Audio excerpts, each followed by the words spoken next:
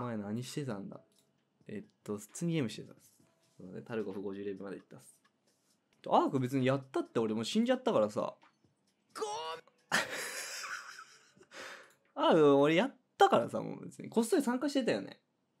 でももう死んじゃったから。メンジャースパ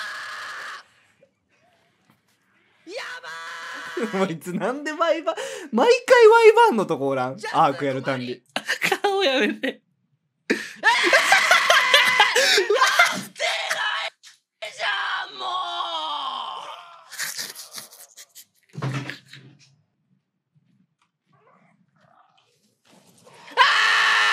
ーやばいマジでやばい。マジでやばいやつ。ちょっと笑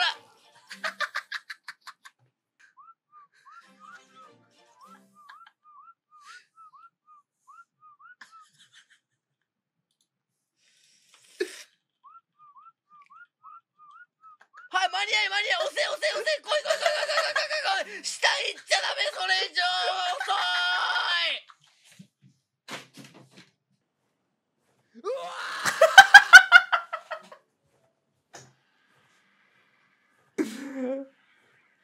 ー困りたち困りたち配信はチロチロ見てる。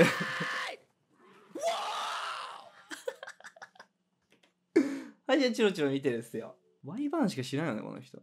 アーク参加してたんですよね。リオンさんが3時間ぐらいかけもっとかな？